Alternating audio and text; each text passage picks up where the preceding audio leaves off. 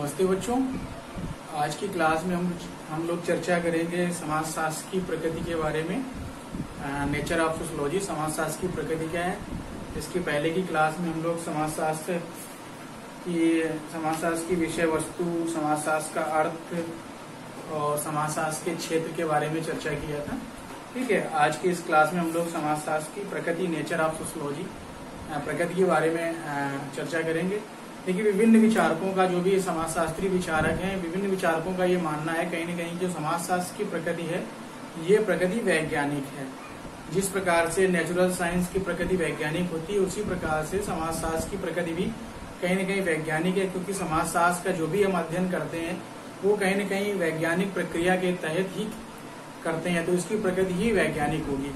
क्योंकि विज्ञान का अर्थ यही होता है कि क्रमबद्ध और व्यवस्थित ज्ञान को विज्ञान कहते हैं। कोई भी अध्ययन जब हम क्रमबद्ध तरीके से, व्यवस्थित तरीके से करते हैं, एक सब्जेक्ट मैटर को ना लेकर के, उसकी मेथड को लेकर के हम कोई भी विज्ञान का अध्ययन करते हैं तो कहीं ना कहीं वो अध्ययन वैज्ञानिक कहलाता है। तो विज्ञान की शुरुआत ही यही से होती है कि क्रमबद्ध और व्यवस्थित ज्ञान को विज्ञान कहते हैं। जैसे नेचुरल साइंस में भौतिक शास्त्र रसायन शास्त्र बायोशास्त्र एंड एंड uh, खगोल की शास्त्र इन सब का अध्ययन जिस प्रकार से हम लोग करते हैं उसी प्रकार से सोशल साइंस में समाज शास्त्र है या पॉलिटिकल साइंस है अर्थशास्त्र है। ठीक है इस प्रकार के साइंसों का भी कहीं न कहीं अध्ययन हम लोग विज्ञान के तहत वैज्ञानिक पद्धति के अनुरूप ही करते हैं। तो कहने का मतलब ये है कि जब किसी भी विषय को चाहे वो नेचुरल साइंस हो या सोशल साइंस हो किसी भी विषय का जब अध्ययन क्रमबद्ध और व्यवस्थित होता है तो वो विज्ञान की श्रेणी में आता है। जैसे भी समाज शास्त्र में विभिन्न घटनाएँ हैं, जो भी घटनाएँ हैं, उनका घटना, घटनाओं का अवलोकन, निरीक्षण, परीक्षण करने के बाद विश्लेषण और सामान्यकरण के बाद प्रतिवेदन तैयार करना तो वो कहीं न कहीं वैज्ञानिक तरीका ही है। उसमें जिस प्रकार से विज्ञान में चरणों चरणों का प्रयोग किया जाता है, विभिन्न चरणों के माध्यम से हम किसी भी निष्कर्ष तक पहुँचते हैं। कोई भी शोधकर्ता या अध्ययन करता जब भी अपने विषय पे अध्ययन या रिसर्च कर रहा होता है तो वो विभिन्न चरणों को अपनाता है। उन चरणों या प्रक्रियाओं के माध्यम से निष्कर्ष तक पहुँचता है।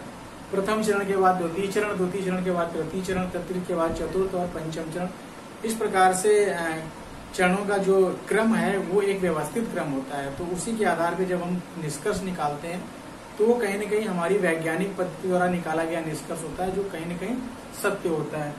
तो इस प्रकार से ये विज्ञान के आपको अर्थ समझ में आ गया। अब देखिए, विभिन्न विचारकों ने कुछ विज्ञान के बारे में यहाँ पे परिभाषाएँ दी हैं, जिसको हम लोग पढ़ लेते हैं। देखिए बच्चों, ये जो मैंने चार प्रकार की परिभाषाएँ दी हैं, ये हमेशा यूनिवर्सिटी एग्ज़ाम में बीए के जो भी यूनिवर्सिटी एग्ज़ाम होते हैं, जिसमें ऑब्जेक्टिव पेपर जो आता है, उनमें ये हमेशा परिभाषाएँ पूछी जाती हैं। तो उसके उद्देश्य बहुत महत्वपूर्ण है।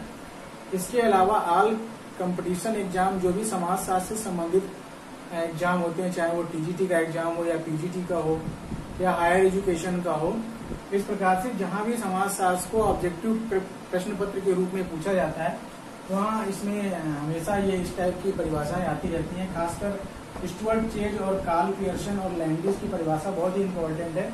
ये तो रिसर्च के पेपरों में भी आती है यूजीसी नेट वगैरह के जो पेपर होते हैं उन पेपरों में भी ये परिभाषाएँ आ जाती हैं तो इनको बहुत ध्यान से संभाल के रखिएगा। आप इनको नोट भी कर लीजिएगा अपने पास कहीं भी।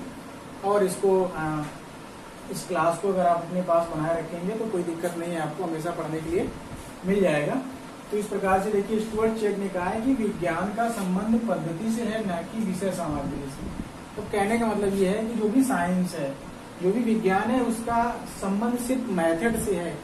किस मेथड से हम किस विषय का अध्ययन कर रहे हैं, जो मेथड की प्रक्रिया है, वही विज्ञान है, ना कि सब्जेक्ट मैटर जो भी विषय वस्तु है, हमारा जो भी सब्जेक्ट मैटर है, उससे हमें कोई मतलब नहीं है कि हम किस चीज़ का अध्ययन कर रहे हैं। सिर्फ़ मतलब हमको ये है कि अध्ययन का तरीका हमारा कैसा है मेथड कैसा है। मेथड वैज्ञानिक है कि नहीं?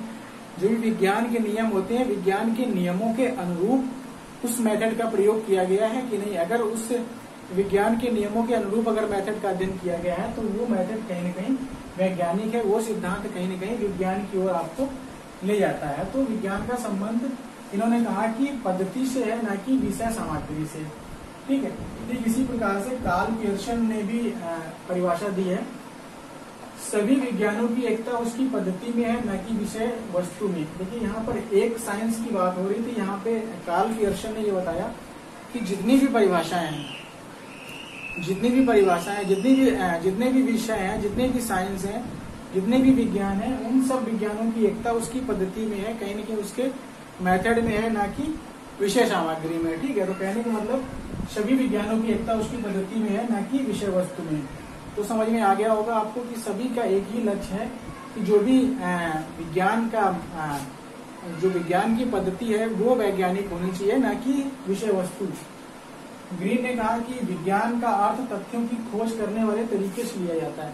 उन्होंने कहा कि जो भी विज्ञान है उसका अर्थ कहीं न कहीं जो भी तथ्य हम खोजते हैं जो तथ्य खोजने के जो तरीके हैं जिस तर, जिन तरीकों का प्रयोग हम तथ्यों को खोजने में लेते हैं वही तथ्य विज्ञान कहलाते हैं वही पद्धति वैज्ञानिक है। विज्ञान का अर्थ तथ्यों की खोज करने वाले तरीके से लिया जाता है। कहीं न कहीं जो भी तथ्य हैं उनको खोज करने वाले तरीके से लिया जाता है, ठीक है? तो इस प्रकार से ग्रीन का हो गया। देखिए लैंग्वेज का बहुत स्टेटमेंट फ़ेमस है। विज्ञान विज्ञान ही है। जो विज्ञान है, वो विज्ञान ही है। चाहे वह भौतिक शास्त्र में हो या समाज शास्त्र में। उन्होंने कहा कि विज्ञान तो विज्ञान ही है, चाहे वो भौतिक शास्त्र में हो या समाज शास्त्र में हो, वो विज्ञान ही कहलाएगी। ठीक है? तो इस प्रकार से आपको समझ में आ गया होगा विभिन्न विचारकों के द्वारा जो भी विज्ञान का अर्थ है, वो आपको समझ में आ गया होगा। देखिए, स्पष्ट रूप से हम लास्ट में आपसे बताते हैं कि विज्ञान का संबंध किसी विशिष्ट प्रकार की अध्ययन सामग्री से नहीं है। जो भी विज्ञान है, वो विशिष्ट प्रकार की अध्ययन सामग्री से न होकर, वैज्ञानिक पद्धति से, विशिष्ट प्रकार की अध्ययन सामग्री से न होकर, वैज्ञानिक पद्धति से प्राप्त किए गए क्रमबद्ध और व्यवस्थित ज्ञान को ही विज्ञान कहते हैं। जो भी व्यवस्थित विषय सामग्री है, उससे हमें कोई मतलब नहीं है। लेकिन विषय सामग्री वैज्ञानिक न होकर के जो उसको प्राप्त करने के जो भी क्रमबद्ध और व्यवस्थित तरीके हैं, जो व्यवस्थित तरीके और जो ज्ञान है, वही विज्ञान है। कहने का मतलब ये है कि विज्ञान का संबंध किसी विशिष्ट प्रकार की विषय सामग्री से न होकर, किसी विशिष्ट प्रकार की विषय सामग्री से न होकर वैज्ञानिक पद्धति से प्राप्त किए गए क्रमबद्ध व व्यवस्थित ज्ञान से है। ठीक है, वैज्ञानिक पद्धति से प्राप्त किए गए जो क्रमबद्ध और व्यवस्थित ज्ञान है, उससे लिया जाता है। तो इस प्रकार से समझ में आ गया होगा आपको कि विज्ञान का अर्थ क्या है। अब देखिए, विज्ञान की प्रमुख विशेषताएँ क्या हैं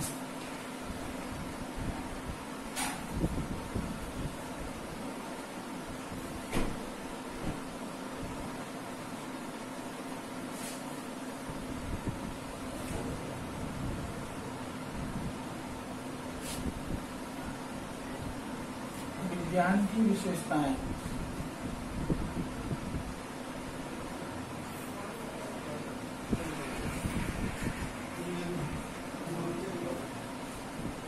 देखिए विज्ञान की विशेषताओं में पाँच विशेषताएँ हैं, जिसमें पहला अवलोकन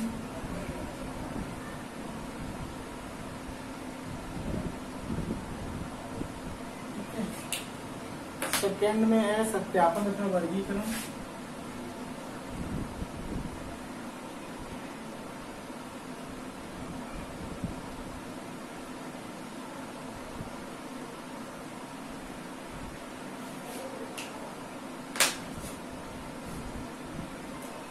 नेक्स्ट है सामान्यकरण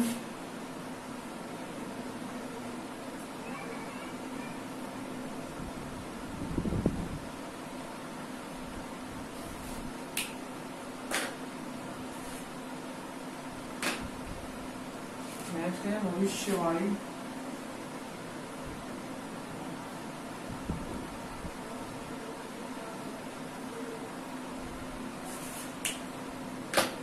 और लास्ट में है वैज्ञानिक प्रवृत्ति।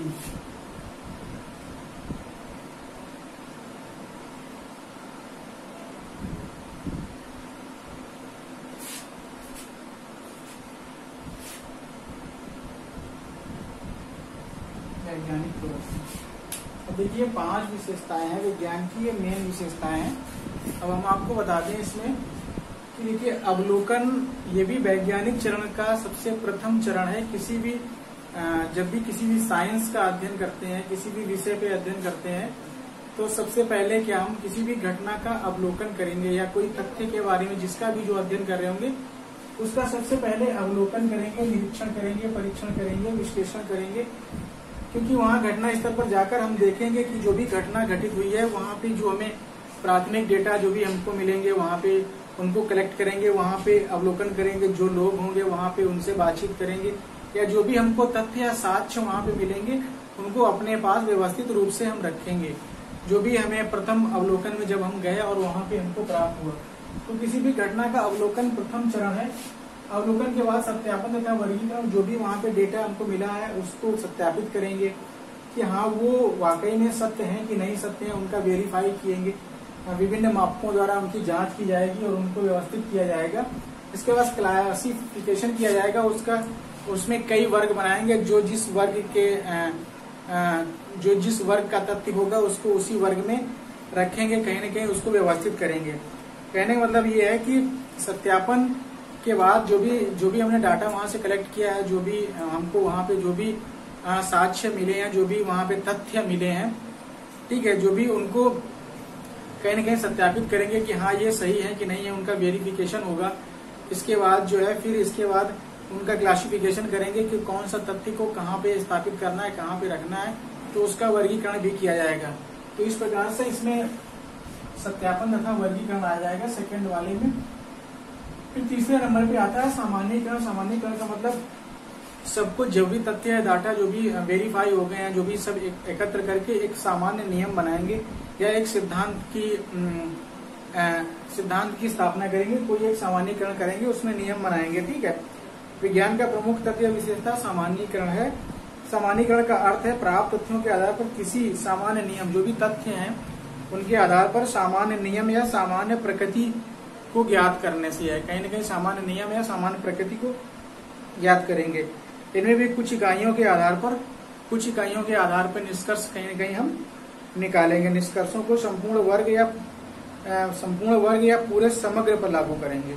या तो किसी एक पूरे वर्ग पे लागू करेंगे, या संपूर्ण एक बहुत बड़े समाज पे या किसी एक बहुत बड़े हिस्से पे लागू करेंगे। तो इस प्रकार से सामान्यकरण के बाद जो भी नियम बनेगा, वो संपूर्ण वर्ग पे या किसी एक वर्ग पे या संपूर्ण समाज पे कहीं न कहीं लागू करेंगे।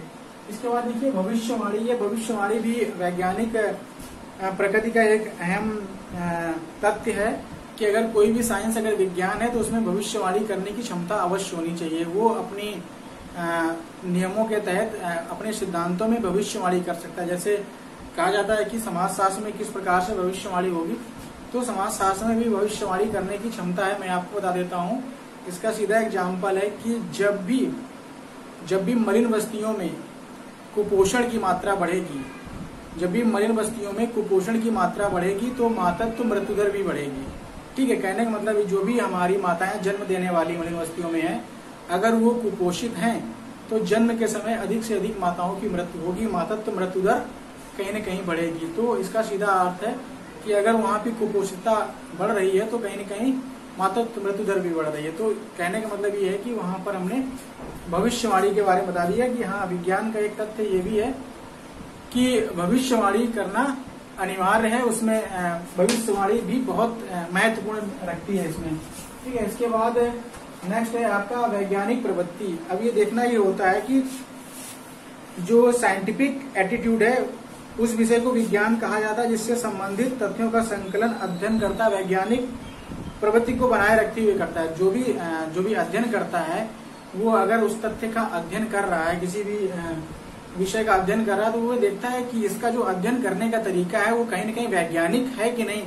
उसमें विज्ञान लागू हो रहा है कि नहीं? वो क्रमबद्ध और व्यवस्थित रूप से अध्ययन किया जा रहा है कि नहीं? ये शोध करता या रिसर्च करता उसको ये पता होता है कि जो भी हम काम कर रहे हैं, वो वैज्ञानिक पद्धति के तहत ही कर रहे हैं, जो विज्ञान के चरण हैं, उन चरणों के उन चरणों के माध्यम से ही हम अध्ययन कर रहे हैं कि नहीं? तो ये, उसकी प्रवृत्ति से पता चलता है। तो इस प्रकार से इसमें ये जो पाँच विशेषताओं के आधार पे हम अंततः लास्ट में ये निष्कर्ष निकालते हैं कि जो जो भी तथ्य हैं, तथ्यों को एकत्रित करने के लिए वैज्ञानिक पद्धति का प्रयोग किया जाए, जो भी तथ्य हैं, उनको एकत्रित करने के लिए कहीं न कहीं हम वैज्ञानिक पद्धति का प्रयोग करेंगे। इसके बाद अवलोकन विधि को काम में लिया जाता है। जो भी मेन मेथड है, वो कहीं ना कहीं अवलोकन विधि है। वास्तविक, जो भी वास्तविक यथावत, जो भी वास्तविक तथ्य हैं, उनका यथावत चित्रण किया जाए। जो भी तथ्य हमको मिले हैं जिस रूप में मिले हैं उनका यथावत चित्रण किया जाए। अन्य शब्दों में कह सकते हैं कि क्या है? मतलब जो क्या है का उल्लेख करना चाहिए, ठीक है? क्या है का उल्लेख होगा, ना कि क्यों है? क्या है का उल्लेख इसमें किया जाता है। कार्य कारण संबंधों की स्पष्टता विवेचना की गई हो, जो भी कार्य कारण संबंध है, उनको स्पष्ट रूप से विवेचित किया गया हो, उनको स्पष्ट रूप से प्रमाणित किया गया हो। निष्कर्ष प्रमाणिक हो, जो भी निष्कर्ष हैं, वो प्रमाण के आधार पर सिद्ध हो, प्रमाणिक हो, अर्थात सत्यता की जाँच की जा चुकी हो मतलब वो जो भी निष्कर्ष निकले हैं, उनकी फतता की जाँच की जा सकी हो, की जा चुकी हो, और वो कहीं न कहीं प्रमाणिक हो। और निष्कर्ष जो भी निकले, वो निष्कर्ष सर्वव्यापी हो मतलब वो सभी जगह विद्यमान हो, जो भी नियम बनाए, जो भी सिद्धांत बनाए, वो ऐसा नहीं कि आपके ही, केवल एक ही समाज में लागू हो जाए, वो कहीं ना कहीं सब जगह दुनिया के हर समाज में वो नियम लगना चाहिए, तभी वो विज्ञान का नियम या सिद्धांत कहलाएगा। और एकत्रित तथ्यों के आधार पर, जो भी हमने डेटा कलेक्ट किए हैं, एकत्रित तथ्यों के आधार पर भविष्यवाणी की जा सकती हो। जो भी एकत्रित तथ्य हैं, उनके आधार पर हम भविष्यवाणी करने की क्षमता को रखते हो। तो बच्चों, आज की क्लास में आपको समझ में आ गया कि हमने समाजशास्त्र की जो विशेषताएँ हैं, इनके बारे में बता दिया और जो भी विज्ञान की विशेषताएँ इनकी और जो विज्ञान का अर्थ है इसके बारे में विभिन्न विचारकों ने विज्ञान की जो परिभाषाएँ दी इसकी भी हमने आपको चर्चा की है। तो आज की क्लास में बस इतना ही और नेक्स्ट क्लास में हम समाजशास्त्र विज्ञान क्यों है, इसकी चर्चा करेंगे। धन्यवाद।